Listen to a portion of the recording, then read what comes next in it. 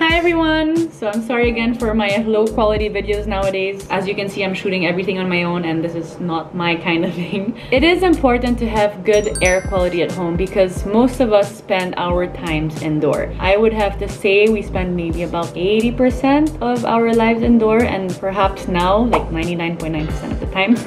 the way we can do this is either by having good ventilation in your apartment or in your home, using air purifiers, opening up the windows once in a while. Natural furniture also works and plants.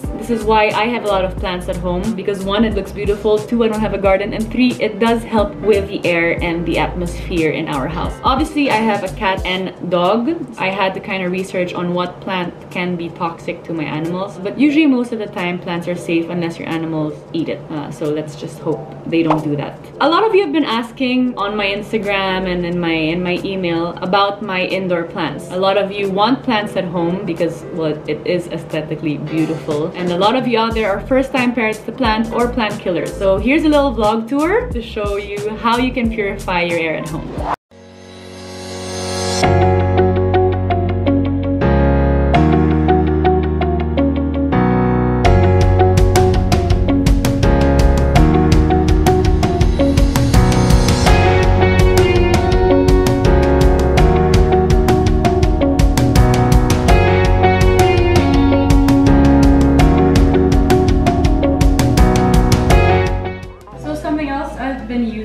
EcoGuard, which is super simple. Basically, you need to just pour tap water until here and put uh, two spoons of iodized salt. And then press the on button and then magic happens and you have your homemade disinfectant. You can spray anything with this. I especially use it also with my dog when we walk the dog outside just to make sure Trella's paws are not dirty when she enters the house. I just spray this on her paw, clean her feet. It's not harmful again since it's just made with salt and water basically and then maybe the surface of your kitchen floor or your sink. So I highly suggest this. Non-toxic too because it's literally just salt and water. But it disinfects. Don't be fooled by the transparency.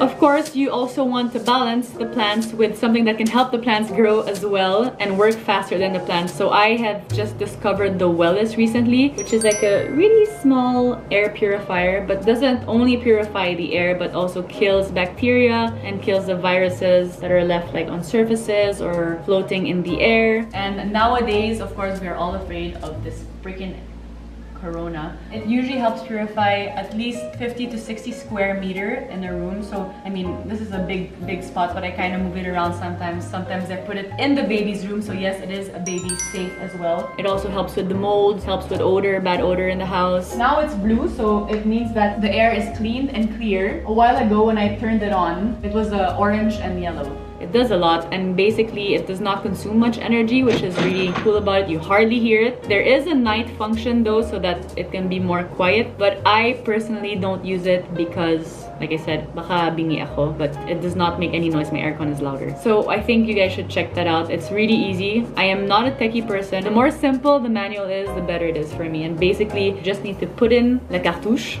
What's up with me and my French? you put in the filler and it stays for three months. you just need to change it every three months. And that's it. Press on and boom. I hope you guys enjoy this vlog. Again, all you need for fresh air at home is maybe a purifier or two and a lot of plants. And of course, a green thumb even just half a green thumb.